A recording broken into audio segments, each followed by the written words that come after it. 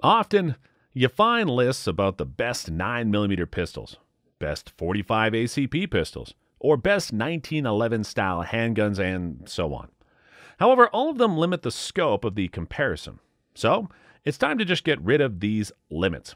Here we compare all semi automatic pistols on the planet and see which of them deserve to be in the top five. Size, caliber, or brand, all this does not matter here. What does matter is how popular these pistols are. This is the vote of the shooters, the military, and law enforcement. All of them, or rather, all of us, strive to get the best of the best. That means that these semi automatics, most of us, be it as civilians or as the military and law enforcement community, gravitate to most be the best of the best. Number 5, the 1911. Yeah, I mean, you saw that coming. And you were right. The 1911 design is one of the oldest that is still in production and used today. In fact, there's still new small details here and there added, further refining the original work, making it one of the most enduring designs ever made. Invented by legendary John Moses Browning, it was the first semi automatic pistol ever adopted by the U.S. Armed Forces. For that, it had to pass a 6,000 round torture test to prove that it was reliable enough to be used on the field of battle. At the same time, it became almost the most powerful sidearm to be standard issue to any armed forces of the world, thanks to it being chambered in 45 ACP. Not only was this beauty adopted by the U.S. military, it also stayed in service for almost 75 years. While it was replaced as the standard issue sidearm, it went on to serve for a lot of years with special units.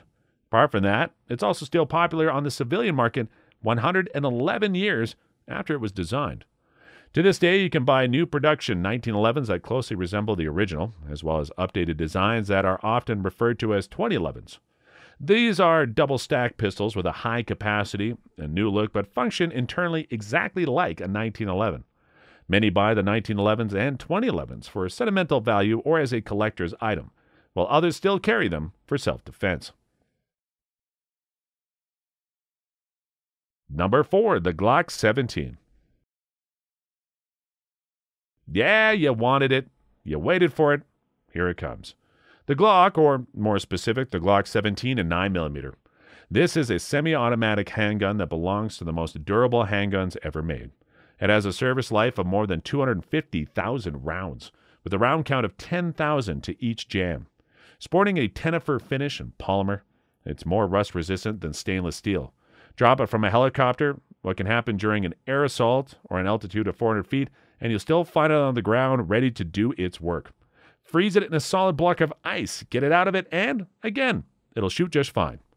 Introduced in 1982, it was a real novelty. It came with a polymer frame, and it was striker fired. It did not take long for it to take over the law enforcement and the civilian market, not least also because of its capacity of 17 plus 1 rounds. Now, you might think that the 17 and Glock 17 comes from the capacity of the magazine, but that is not the case, as much as the Glock 19 does not come with 19 rounds in its standard mag. Instead, it was just the patent number 17 for the company, hence the name Glock 17. Number 3, the Browning High Power P35. Here comes another great success of John Browning. Before you ask, his three most enduring inventions was the 1911, the High Power, and the M2 Ma Deuce 50 caliber heavy machine gun. However, it must be said that the great inventor himself passed away in 1926 before his work on the high power was finished, so that a Belgian gun designer continued it for him until it was completed in 1935, making for the designation the P 35. The high power was the product of John Browning competing with himself. After designing the 1911 and selling the rights to Colt, he went on to design the high power to make it better than the first design but without violating the patent. The result was a single action semi auto chambered in 9mm. The BHP, the Browning High Power, was the first of his so called Wonder Nines. In a time where the standard for semi automatic pistols was a capacity of 8 rounds, the BHP came with 13 in the magazine plus 1 in the chamber. This was the first double stack 9mm autoloader, and as such, way ahead of its time. Oh, an interesting side note the high power does not stand for great ballistic power round by round, but for the high capacity of the gun. Over time, it became the most widely used military, police, and counter terrorist pistol in the world, and it stayed so for decades. The list of users include, for example, the British SAS and the hostage rescue team of the FBI. What is also interesting about this gun is that it was at times even produced by Nazi Germany when the FN factory was occupied. There was a shortage for German made sidearms at the time, so naturally they let the production of the BHP go on. FN itself discontinued the gun for a while because of a declining demand while production costs went up. However, due to new found demands, it was brought back in a new iteration that included some changes to the original design. These changes are criticized by some, welcomed by others. But the most important point when it comes to criticism is the high price. If you're looking for a high power yourself, you can either go for an original, a new model made by FN, or get one of the many clones. Like, for example, from Girsan or Springfield Armory, which are more like the original but cost only about half as much as the new model, or even less than that. You also get an increased capacity, which now stands at 15 rounds in the magazine and one in the chamber. Number two, the Beretta 92FS.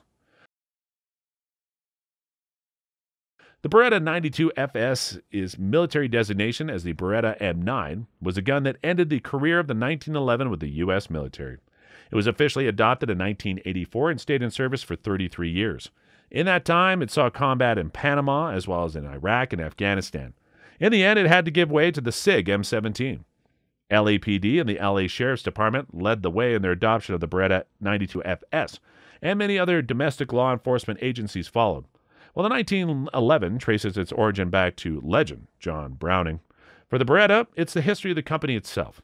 Founded in 1526, it is so rich of experience that a success like the Beretta 92FS was not surprising. Even 1911 aficionados and renowned firearm industry experts Bill Wilson and Ken Hackathorn praised this gun as the most reliable handgun they ever used, also shoots as well as a 1911. These statements from these two mean a lot, and the Beretta 92 is a very fine pistol indeed. While many of today see the Glock as one of the most hyped pistols, before the Plastic Wonder, it was the Beretta 92 that was all the rage. Number 1, the Ruger Standard 22 Long Rifle. Yeah, Ruger made it on this list with its standard chambered for 22 long rifle. This gun is for rimfire semi-auto pistols, what the 1911 and the high power is for centerfire ones. It is the cold standard in its category against which all others are judged. Introduced in 1949, it was a pistol that started the careers of Alex Sturm and Bill Ruger with Sturm, Ruger & Co., which is now one of the industry giants in America.